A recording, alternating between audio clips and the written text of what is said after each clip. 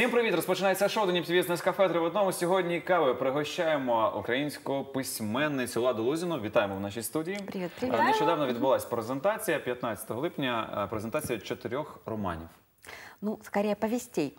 Тут надо э, сакцентировать внимание на том, что это беспрецедентная вещь в Украине, то есть это первый украинский книжный сериал. То есть вот у меня в свое время вышло а, два романа «Киевские ведьмы», которые как бы очень многие знают, и вдруг у меня возникла такая идея, она возникла как ответ на кризис, как ни странно, потому что книги очень сильно подорожали, а покупательская способность уменьшилась.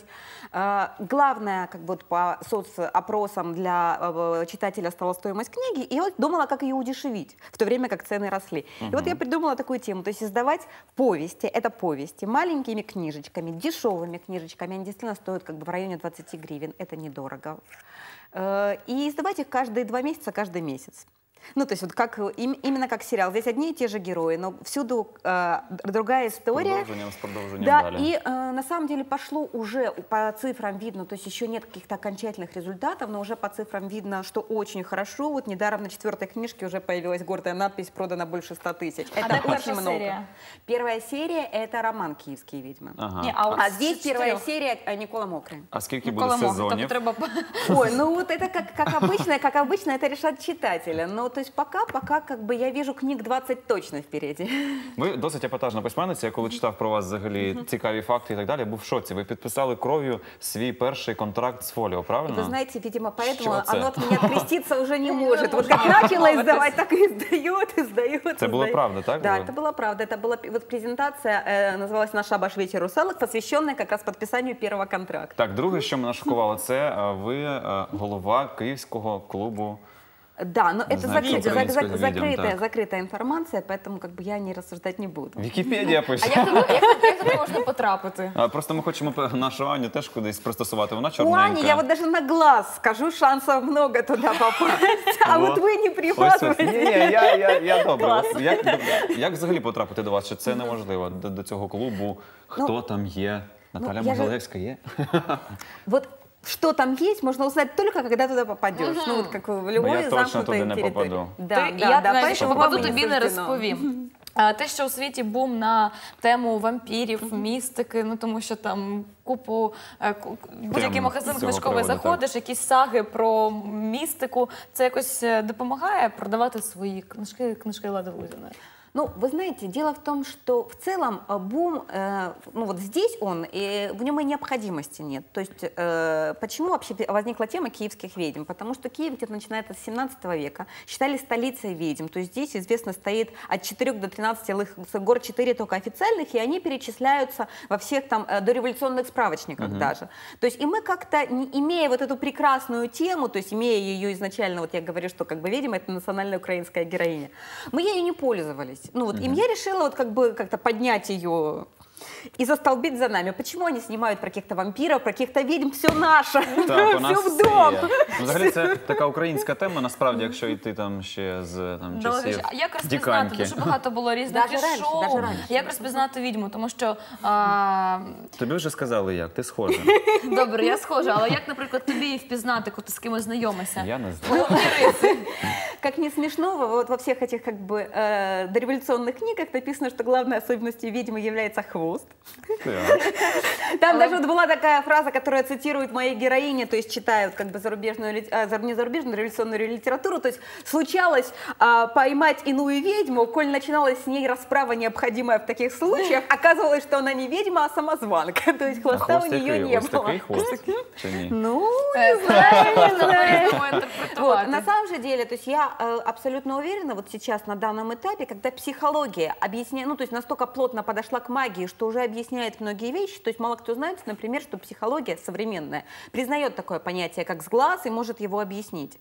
Но э, очень многие психологические тренинги, то есть вот как человек знающий, я могу сказать, очень похожи на некоторые ритуалы.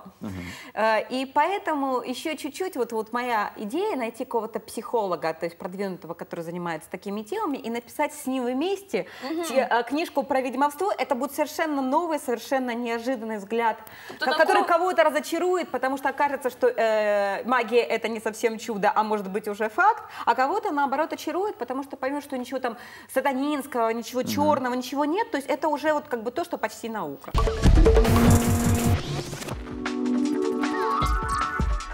приводу безусловно. написання ми тут приготували гаджет. Так, ми насправді. думали, де краще писати книжки, взагалі, от такі Ми містичні, знайшли про старий київських гаджет. дуже Я цікавий. такая была когда-то.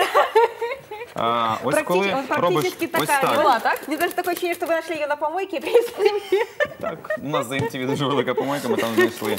А, як написання відбувається у вас? Е, Ну, добре, не Де за допомогою, саме може, як- ось цього. тому що багато думають, що Лада Лузіна сідає десь вночі, розставляє навколо себе свічки, е, І дістає якусь пишуть старовинну друковану машинку, так і там зв'язується з якимись силами потойвічними. А, На самом деле моя главная, главная э, задача это ну, четыре стены и компьютер. Ч- Ну, и вот именно че- замкнутое пространство. Причем, как это не смешно звучит, оно не должно быть уютным. Ну, то есть вот уют отвлекает. То есть вот я человек, который очень любит свой дом, всякие финтифлюшечки, но я бы вот не смогла в этом пространстве работать. То есть вот моя гостиная и мой кабинет – это два совершенно разных пространства. То А есть вот- кабинет це як? Да, Просто зава- чотири стіни і Да, од- четыре одне стены, крісло? заваленные книжками и бумагами. До речі, з приводу комп'ютера останнім часом всі почали говорити про те, що зараз є планшети, комунікатори і так далі, І що електронні книжка книжки. помирає от в обкладинці, Там, звичайно, Медведєв друкована. закупає своїм дітям в школу тільки ось такі книжки. Що ви думаєте Ну, з цього я приводу? могу сказать э, абсолютно точно, лет через 50 проверите, что я была права, книжка не умрет. Безусловно, ее интернет потеснил э, уже и потеснит еще.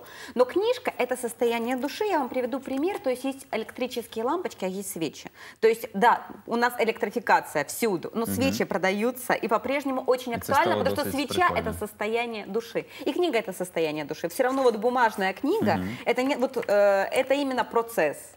Я Але колись- ось це ми все ж таки залишаємо. Залишаємо. Ось Я коли засмагала на пляжі, там Комп'ютер. проходила і побачила а, чоловіка років е, 40, який ось, ось так читав Ладу Лузіну просто. Боже, Перебирав. І для мене це було трішки дивно, тому що я думала, що переважна більшість читач, А читачів вы це знаете, саме я читачки. тоже так думала до недавнего времени, пока вот где-то несколько месяцев как не поселилась на Фейсбуке. Выяснилось, что у меня достаточно большое количество читателей книг. Да, женщин все равно больше. Но причем увеличиваются читатели. Эм, Вот я буквально, у меня здесь даже почтовый ящик, то есть я по-прежнему пользуюсь не только там электронными, но и бумажными письмами. Вот. И когда я дохожу вот буквально на днях до почтового ящика на почте, открываю, беру там письма и вижу, что они все от мужчин. Причем там не с, мы- не с текстом, какая вы красивая женщина, а с каким-то анализом моего творчества. То есть я была поражена. А хотілося б іншого. Чоловіки, пишіть, будь ласка. До речі, з приводу того, щоб е, з'являлось більше фанатів, зараз ми розіграємо одну з чотирьох Вот е, последнюю, книжок. давайте последнюю э, «Киевские ведьмы. Каменная гостья». Кто знает классику, поймет, о ком это, даже Так. не глядя на обложку. Все дуже просто. Щоб її розіграти, вам потрібно написати есе. Чому саме ви хочете отримати цю книгу? Можливо, ви не читали, можливо, ви хочете стати фанатом, можливо, ви щось читали, хочете собі це в подарунок. Лада Лузіна вам розпишеться, і ми подаруємо цю книгу. Напишіть, будь ласка, на нашій спільноті на MTV на так, Фейсбуці. Ось сюди. Пишіть нам, будь ласка. Ладно, ми дуже дякуємо за сьогодні. Так, Е, Ми дякуємо. також, е, я думаю, придбаємо собі серіал. Почнемо з першої серії. Взагалі, Е, подарунки Нікола Мокрий. подарунками, будь ласка, купуйте, тому що треба підтримувати наших письменників. Взагалі, я думаю, що це Ми йдемо правильно. на каву брейк і побачимося дуже скоро у шоу Денім з кафе 3 в одному.